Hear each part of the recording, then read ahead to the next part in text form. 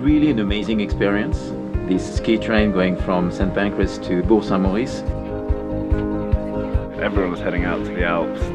There's an excitement on board, which makes it a really good start to the holiday. It's like a bonding time. You can hang out with one another, share food, share drinks, share stories. It's really cool.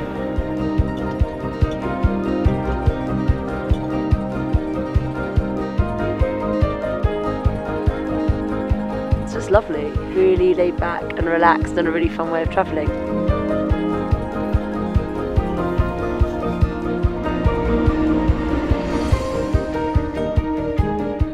It's just so convenient, it takes you straight into the Alps. Pretty much at the bottom of the mountain when you get off that train.